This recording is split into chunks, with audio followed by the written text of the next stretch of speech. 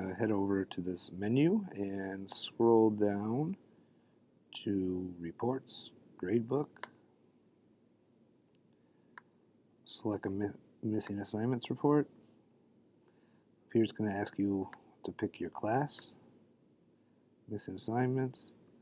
Uh, then you're going to select which quarters you would like the report to grab. So I'm just going to select quarter three, hit generate report. And then you'll be ready to print these and give them to your students.